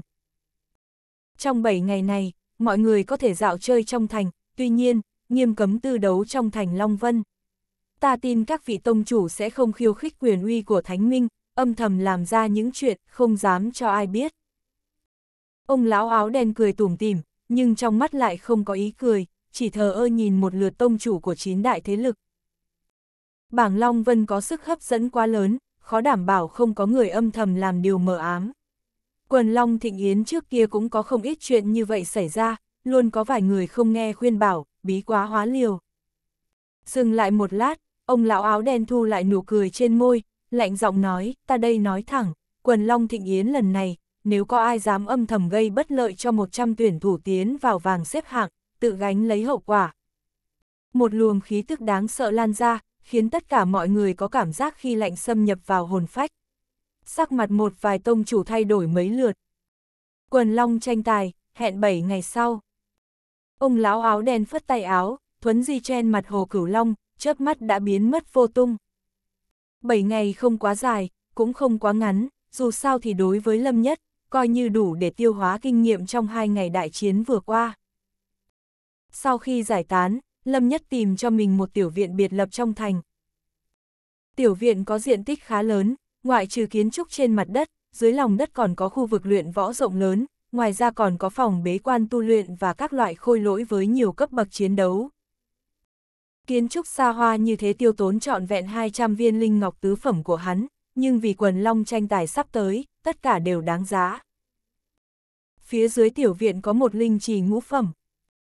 Giữa linh chỉ có một đạo đài được ngưng kết từ hàn băng, phía trên đạo đài có khắc tụ linh trận. Loại đạo đài này cực kỳ quý hiếm, trong các thế lực cấp bá chủ, chỉ có một số ít đệ tử cốt cán mới có tư cách dùng nó tu luyện, hơn nữa, số lượng còn có hạn. Lâm nhất bước lên, khoanh chân ngồi xuống, cảm nhận linh khí thiên địa nồng đậm khắp bốn phía, khẽ gật đầu, đúng, nơi này rất thích hợp để bế quan, trước đột phá tu vi đã. Tu vi của hắn đã dừng lại ở cảnh giới âm dương đại thành đỉnh phong suốt một thời gian rồi, nếu không vì muốn tích lũy chờ bộc phát, bất cứ lúc nào hắn cũng có thể thăng cấp cảnh giới âm dương viên mãn. Lâm Nhất hiểu rõ, hoặc là không đột phá, một khi thăng cấp, nhất định phải đột phá đến cảnh giới âm dương viên mãn đỉnh phong, tiến thẳng vào bán bộ thiên phách. Sau đại chiến luân phiên ở vòng tích điểm và phòng loại, tu vi của Lâm Nhất đã được củng cố vững chắc, đặc biệt, hắn đã thu được rất nhiều lợi ích sau trận giao chiến với Tịch Phong, một trong Nam Hoa Thất Anh. Sau khi tiêu hóa những gì đã tích lũy, kết hợp với tử diên kiếm quyết, có lẽ đột phá đến cảnh giới âm dương viên mãn đỉnh phong không phải là vấn đề quá lớn. Tuy nhiên, tất cả đều phải dựa trên điều kiện tiên quyết là có đầy đủ tài nguyên, chỉ dựa vào một cái linh trì thì còn lâu mới đủ. Nhưng thứ lâm nhất không thiếu nhất chính là tài nguyên, 10 vạn viên linh ngọc tứ phẩm mà hắn thu hoạch được trong cổ mộ tinh quân ở biển trăng khô đủ để sánh ngang với nội tình của toàn bộ thế lực chuẩn bá chủ. Lâm nhất vỗ nhẹ lên túi chữ vật, mấy ngàn viên linh ngọc tứ phẩm lập tức xếp chồng lên như một quả núi trên đạo đài băng, thoạt nhìn dường như muốn vùi lấp hắn. Âm âm. Quá nhiều linh ngọc tứ phẩm chồng chất lên nhau, linh khí hòa quyện, rồi rào đến mức khó tưởng, linh khí ảo ảo như nước lũ vẩn quanh thân lâm nhất. Tử Diên kiếm quyết. Lâm Nhất vừa niệm, ngay lập tức, hào quang màu bạc bùng lên, dưới sự thúc giục của kiếm quyết tầng 11 đỉnh phong, trên mặt đất, một đóa tử diên có đường kính hơn 20 trượng nở rộ. Cùng với sự vận chuyển của kiếm quyết, linh khí khổng lồ mà hùng hồn liên tục tràn vào cơ thể Lâm Nhất, trường bào màu xanh tung bay dù không có gió. Trong mơ hồ, từng sợi long văn màu tím dữ tợn trên cơ thể hắn cũng bắt đầu ngọ nguậy không yên. Vốn dĩ đột phá dễ dàng như nước chảy thành sông, nhưng do Lâm Nhất cố chấp muốn thăng cấp lên viên mãn đỉnh phong mà trở nên hung hiểm. Âm âm. Dịch nguyên sền sệt ở tử phủ hình thành vòng xoáy âm dương, từ từ chuyển động, chân nguyên rồi rào hệt như giang hà chảy xuôi trong cơ thể hắn, rót đầy kinh mạch, khiến chúng căng phồng lên. Chân nguyên của hắn quá mức kinh khủng, dù là thất tú thiên lăng cũng không cách nào so sánh được, tử diên kiếm quyết từ thời thượng cổ Hoàng Kim Thịnh Thế chính là chỗ dựa lớn nhất của hắn từ trước đến nay. Ở một mức độ nào đó, kiếm quyết còn quan trọng hơn cả kiếm ý, công pháp là đạo, kiếm ý là thuật. Đại đạo đứng đầu, thuật pháp theo sau, nếu không có kiếm ý, có thể dựa vào những thuật pháp khác, nhưng nếu không có tử diên kiếm quyết thì xem như mất đi nền tảng. Linh khí hùng hậu rót vào cơ thể khiến toàn thân lâm nhất trở nên khô nóng, đạo đài hàn ngọc lập tức nóng lên, hơi nóng vô tận lan ra. Muốn trong một lần thăng cấp lên cảnh giới âm dương viên mãn đỉnh phong, điều này quả thực rất bá đạo, thế nên dù có đạo đài hàn ngọc, cơ thể lâm nhất vẫn không cách nào ổn định được. Đến khi đạo đài Hàn Ngọc không thể áp chế nổi chân nguyên trong cơ thể đang muốn bạo phát, một ý niệm lóe lên trong đầu lâm nhất, long văn khắc trên da bắt đầu nhúc nhích, phát ra hào quang màu tím chói lọi. Lực lượng thương long cổ xưa tràn ngập toàn thân, huyết khí sôi trào hệt như đại dương minh mông, nhanh chóng hấp thu và luyện hóa luồng khí khô nóng này. Hơn 100 sợi long văn tử điện đan vào nhau, thoạt nhìn hệt hư một con rồng khổng lồ chiếm cứ trên thân thể lâm nhất, lại tựa một ngọn núi cao thời thái cổ, mạnh mẽ chân áp chân nguyên đang bạo động trong người hắn. Thời gian dần trôi qua, cùng với một lượng lớn chân nguyên dũng mãnh tiến vào cơ thể, dịch nguyên sền sệt hình thành vòng xoáy âm dương ở tử phủ đã bắt đầu ngưng thực. Vòng xoáy chuyển động tản ra luồng năng lượng khổng lồ, hoa tử diên dưới thân hắn run lên từng hồi, kiếm âm to rõ vang vọng không dứt trong cơ thể lâm nhất. Trong lúc lâm nhất đang khẩn trương đột phá, ở nội thành Long Vân, những yêu nghiệt khác cũng không hề nhàn rỗi. Tại viện của tử Nguyệt Động Thiên, Phú Hạo Thiên đang giao thủ với một trưởng lão thiên phách, mỗi một lỗ chân lông khắp người hắn đều tản ra ánh sáng tím chói mắt, thân thể mạnh mẽ hệt như một khối thiên thạch ngoài vũ trụ được ngưng tụ từ tử ngọc. Mỗi một cái giơ tay nhất chân đều tạo thành dị tượng hào hùng, sương mù màu tím lan ra như biển cả vô cùng vô tận. Ở đường chân trời của đại dương bao la kia, thỉnh thoảng có trăng tím nhô lên, vầng trăng tím kia to lớn vượt ngoài sức tưởng tượng của mọi người. Toàn bộ dị tượng hào hùng khiến Vũ Hạo Thiên trở nên vô cùng nổi bật, không ai sánh bằng, diện mạo tuấn tú khôi ngô cùng phong thái hơn người của hắn ta được tôn lên rõ rệt, cứ như chỉ tiện tay cũng có thể xé toạc non sông. Chẳng mấy chốc, trưởng lão thiên phách đang giao đấu cùng hắn ta đã lộ vẻ cố hết sức, mồ hôi trên trán túa ra. Vũ Hạo Thiên thì lại ung dung như đang dạo chơi, có vẻ như hắn ta không hề dốc toàn lực, thản nhiên như không. Sau 10 chiêu, trong mắt trưởng lão thiên phách lóe lên tia kinh ngạc, ông ta vô cùng hoảng sợ khi phát hiện công pháp kỳ quái của đối phương. Chân nguyên thiên phách mà ông ta đánh ra lại bị thanh niên trước mặt cắn nuốt và luyện hóa, còn thuận tiện phản chấn bằng lực lượng kinh khủng hơn gấp bội. Khoa trương hơn nữa chính là theo thời gian dần trôi, trưởng lão thiên phách phát hiện chân nguyên trong cơ thể mình từ từ trôi tuột đi. Tuy tốc độ rất chậm, nhưng lại không cách nào khống chế được, cứ như đó là điều không tránh khỏi khi giao thủ với hắn ta. ầm, um, lại một kích va vào nhau, cả người trưởng lão thiên phách bị đánh văng ra xa, sắc mặt ông ta tái nhợt, mãi một lúc lâu sau mới thở dài và nói, tử nguyệt tâm kinh quả thật đáng sợ, động chủ để ta đến luyện tập cùng ngươi xem ra là có hơi xem thường ngươi. Thật khó lường, hẳn là ngươi đã tu luyện tử nguyệt tâm kinh đến tầng 12 viên mãn rồi, đúng không? Theo truyền thuyết, đến cảnh giới này, thậm chí có thể cắn nuốt huyết khí, mỗi một chiêu đều chí mạng. Vũ Hạo Thiên không có ý kiến, chỉ cười nhạt đáp, cắn nuốt huyết khí và chân nguyên chẳng qua chỉ là bàng môn tà đạo mà thôi, sự mạnh mẽ của tử nguyệt tâm kinh không chỉ như thế. Có lẽ là vậy, tuy nhiên, chỉ dựa vào tuyệt chiêu đặc biệt này, dù là cao thủ thiên phách cũng khó mà ứng phó được. Dưới thiên phách càng không có địch thủ, quần long thịnh yến lần này, vị trí đầu bảng chỉ có thể là của ngươi. Trưởng lão thiên phách khẽ nói, tuy nhiên, trong lòng ông ta luôn có cảm giác trong tay Vũ Hạo Thiên còn át chủ bài khác. Nếu là trận chiến sinh tử thật sự, có lẽ ngay cả cơ hội chạy trốn, ông ta cũng không có, không, không phải có lẽ, mà là chắc chắn. Tuy sẽ có một chút khó khăn chắc trở, nhưng đến cuối cùng, vị trí đầu bảng chắc chắn sẽ thuộc về Vũ Hạo Thiên ta. Ánh mắt Vũ Hạo Thiên phát ra hào quang sáng chói, tràn đầy tự tin. Tại viện của Tử Lôi Tông, Triệu vô cực đang giao đấu cùng tông chủ, chỉ trong chớp mắt, hai người họ đã đánh được trăm chiêu. Cả hai đều dốc toàn lực, nhưng rất rõ ràng, triệu vô cực không hề rơi xuống thế yếu, thậm chí còn có phần nhỉnh hơn. Đám trưởng lão đứng bên cạnh quan sát gần như đều choáng váng, không dám tin vào mắt mình. Tuy rằng tông chủ tử lôi tông đã áp chế tu vi bản thân xuống ngang bằng với đối phương, nhưng tình huống trước mắt vẫn khiến mọi người kinh ngạc không thôi.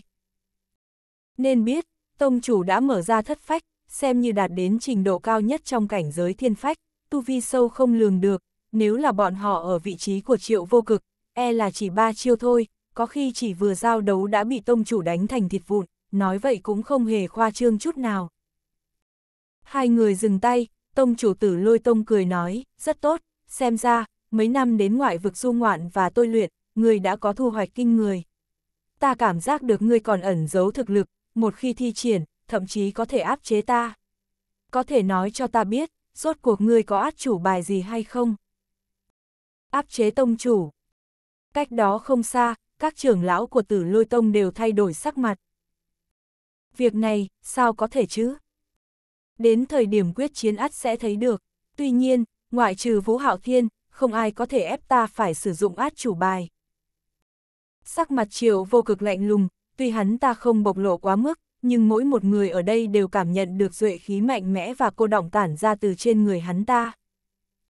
Giờ phút này, viêm long tử, một trong tam tiểu vương, cũng đang giao đấu. Tuy nhiên, khác với triệu vô cực và vũ hạo thiên, hắn ta dùng một địch người. Mười tên cao thủ cảnh giới bán bộ thiên phách đang cầm vũ khí giao chiến với hắn ta. Viêm long tử để trần nửa thân trên, cơ bắp toàn thân gồ lên, trông cực kỳ đáng sợ, hệt như man thú đang vươn người. Màu da của hắn ta đỏ rực mà sáng bóng, mang đến cảm giác tựa như kim loại. Đang, đang, đang. Nhưng trên thực tế, thân thể của hắn ta còn cứng rắn hơn kim loại, thậm chí có thể so với bảo giáp thượng phẩm. Mỗi một binh khí chém lên người hắn ta đều tóe lửa, phát ra tiếng len keng, nhưng lại không để lại một chút dấu vết gì trên da thịt. Quá yếu. Viêm long tử đột nhiên thét lên một tiếng, hai ngón tay lạnh lẽo vạch một vòng cung trói mắt giữa không trung, vòng cung lóe sáng, trông vô cùng sắc bén. Xoẹt. Thoáng chốc, nó hệt như một thần binh bén ngót, dễ dàng chém đứt binh khí của 10 tên cao thủ bán bộ thiên phách kia. Ha ha, viêm long tử phát ra tiếng cười dữ tợn, trước ánh mắt kinh ngạc của đối thủ, hắn ta ra tay nhanh như chớp. Dầm, dầm, dầm, năm ngón tay hắn siết chặt, quyền mang dữ dội, mỗi một quyền vung ra đều rền vang như hỏa sơn bùng nổ. Đến khi hắn thu tay lại, không có bất kỳ tên ngoại lệ nào trong 10 tên đứng đầu cường giả của bán bộ thiên phách mà trên ngực không xuất hiện một cái lỗ máu lớn, toàn bộ đều đã hôn mê bất tỉnh. Thoáng chốc, người của thiên yên các đã được điều đi lôi những người nằm yên bất động kia xuống. Nếu cứ để mặc không lo, những người này chắc chắn sẽ phải chết. Sắc mặt viêm long tử dữ tợn, khí tức cả người hùng hổ không thôi. Lâm nhất, ta nhất định phải làm thịt người trong trận đấu hạng. Nhớ đến việc bị Nguyệt Vi Vi làm nhục ngay trong đám đông, và cả chuyện Lâm Nhất không ngừng làm mình mất mặt hết lần này đến lần khác. Cơn giận dữ trong lòng viêm long tử nháy mắt nổ tung. Oanh! Quyền hắn ta vừa vung ra bốc lên một ngọn lửa đỏ thẫm nổ tung hư ảo. Ngọn lửa đó giống như nham thạch nóng chảy chuyển động giữa không trung thật lâu không tiêu tan, trông hết sức quỷ dị. Hừ! Viêm long tử hừ lạnh, cơn giận dữ mới tạm giảm đi được một chút.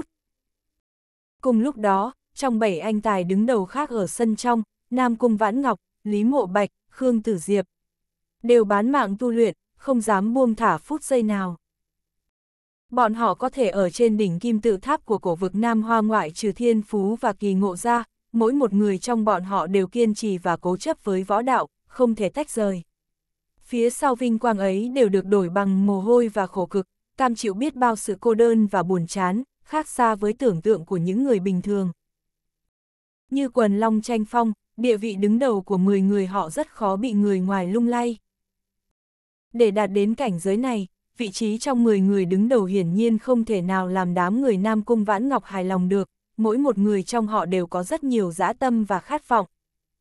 Ba ngày sau, trong phòng tu luyện dưới đất của Lâm Nhất, 7.000 viên linh ngọc tứ phẩm ở trong giữa linh chỉ toàn bộ gần như tiêu hao sạch sẽ. Đó vốn là hàn ngọc cấp nhất của đạo đài, nhưng chỉ trong vòng 3 ngày, từ rắn giỏi vô cùng mà bị mài đến gần như chỉ còn nửa trường. Nói không ngoa, mấy ai có thể tưởng tượng được trong ba ngày này Lâm Nhất đã chịu đựng dày vò đến mức nào. Oanh! Bỗng dưng vang lên một tiếng lớn, linh ngọc tứ phẩm chất như núi trên đạo đài đều hóa thành bột mịn giữ màn bụi bậm dày đặc kia là một đôi mắt sắc bén như đao gươm, tinh quang vụt lóe chợt làm bất giác phải dùng mình. Thời gian ba ngày, Lâm Nhất rốt cuộc đã đột phá. Trên đạo đài giữa linh trì, trên người Lâm Nhất đang ngồi xếp bằng đột nhiên tỏa ra một luồng khí tức rung sợ trời đất. Trong tức khắc, màn bụi bặm mờ mịt đã bị thổi tan, bóng dáng Lâm Nhất chợt hiện ra. Trong đôi mắt sâu thẳm của hắn chợt lóe sáng, toàn thân toát lên cuồng phong cuồn cuộn, hắn đã đạt đến cảnh giới âm dương tột cùng viên mãn. Sau ba ngày rốt cuộc cũng đã đột phá thành công đến viên mãn đỉnh phong, tu vi của Lâm Nhất đã đến gần với bán bộ thiên phách. Rất lâu sau, tinh quang trong mắt Lâm Nhất mới từ từ tiêu tán, toàn bộ uy áp kinh khủng ẩn trong con người kia đã dần lắng xuống. Nó giống như một ngọn lửa minh mông vô tận, tích tụ từng chút một, ngấm ngầm đợi chờ Lâm Nhất đốt lên sôi trào một lần nữa. Vù! Lâm Nhất khạc ra một hơi chọc khí dài, giống như con rắn sương mù màu xám, thẳng tắp như kiếm, uốn lượn không tiêu tan. Chỉ nội trong ba ngày mà toàn bộ 7.000 viên linh ngọc tứ phẩm đều đã bị luyện hóa xong, nói ra thì chẳng một ai dám tin, nhưng Lâm Nhất lại chân chính tự mình làm được điều đấy. Dựa vào tử diên kiếm quyết hắn có được tốc độ luyện hóa không có gì sánh kịp, nhờ vào thương long cửu biến thân thể cường hãn của hắn có thể bỏ xa với những người đồng trang lứa khác. Hai điều này hợp nhất, cộng thêm tâm lâm nhất một lòng hướng đến kiếm không màng sinh tử, sau khi chịu đựng mọi đau khổ, có kinh sợ nhưng tránh được hiểm nguy mới hoàn thành một cách suôn sẻ. Vùng tử phủ vốn như là ma bàn đặc quánh bóng mờ, hoàn mỹ vô khuyết, lấp lánh ánh bạc trói lọi. Đạt đến cảnh giới âm dương đỉnh phong viên mãn, hai loại thuộc tính chân nguyên dịch thể âm dương sẽ không ngừng hòa trộn, nếu nội tình có sai lệch thì chỉ có thể tạm thời hòa trộn, không thể có quá nhiều thay đổi về mặt thể chất. Nội tình của những thiên kiêu tài năng xuất chúng rất thâm hậu, công pháp mạnh mẽ, nguyên dịch vì thế vô cùng dày đặc trông giống như đặc quánh lại. Mà ma bản âm dương của Lâm Nhất vô cùng khoa trương, lượng linh khí thiên địa nhồi vào quá mức khổng lồ, lúc đang luyện hóa tử diên kiếm quyết đã gượng ép đông đặc lại. Do dịch thể biến chất thành thể rắn nhiều như mây, chân nguyên trở nên dồi dào phong phú như núi, nên cái ma bản ấy vẫn đang chuyển động giống như là có hàng trăm nghìn ngọn núi lớn lay động cũng một lúc. Cho dù có là yêu nghiệt thiên kiêu cũng rất khó hàng phục được cái ma bản âm dương khủng khiếp này, chỉ cần chân nguyên thoáng chốc chuyển động cuồn cuộn thì thân xác sẽ trực chờ căng nổ.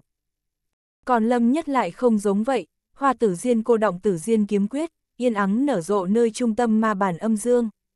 Tử diên kiếm quyết đỉnh phong tầng thứ 11, 99 cánh hoa trong suốt long lanh, trong sạch thông linh, mỗi một cánh hoa đều cô động kiếm khí vô biên. Khi cánh hoa đang lay động thì kiếm khí vấn vít vào nhau, kiếm thế cuồn cuộn giống như vẽ nên tiên khí của một thanh kiếm xương mù hùng vĩ thoát ẩn thoát hiện. Hoa tử diên cắm rễ ở trung tâm ma bàn, như một trận kiếm chân áp khí tức hung hãn bên trong ma bàn, nó cũng có thể sánh ngang 100.000 ngọn núi. Audio điện tử võ tấn bền Hết tập 98